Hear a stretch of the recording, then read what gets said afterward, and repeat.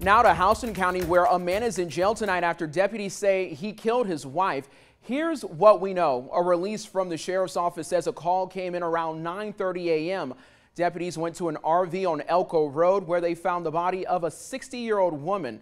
After investigating, deputies say 78-year-old Harold Setfadden told a neighbor he had been in an argument with his wife before killing her. He is charged with murder and is being held without bond at the Houston County Detention Center.